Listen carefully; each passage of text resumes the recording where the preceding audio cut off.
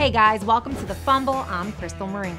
Patriots and Seahawks fans reacted very differently to Malcolm Butler's Super Bowl winning interception. Although sometimes it's hard to distinguish between a happy scream and an angry scream.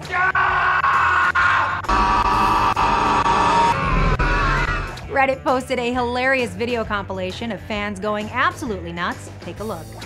Oh, you fucking kicked it! No! No! No! No! No! Throw it! Seattle blew a potential Super Bowl winning touchdown on second and goal when Russell Wilson threw an interception rather than handing the ball to Marshawn Lynch. Leave everybody asking why in the world with Marshawn in the backfield did the Seahawks throw the football? 21 reasons. When Marshawn was asked if he was surprised he didn't get the ball, he replied no. When pressed further why he wasn't surprised, the running back known as Beast Mode said, because football is a team sport.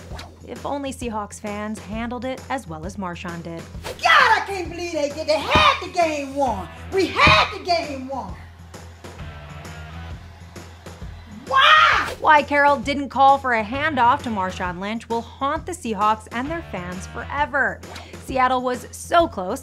First Jermaine Kearse made a miraculous circus catch that put the Seahawks in position to win the game. Watching losing effort. Well, how about this? The circus catch seven years after David Tyree. But then Malcolm Butler, a rookie who almost wasn't on the active roster, made one of the greatest, if not the greatest clutch plays to clinch New England's fourth Super Bowl title.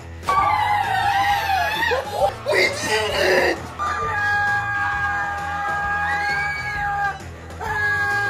Russell Wilson threw an interception rather than handing the ball to Lynch.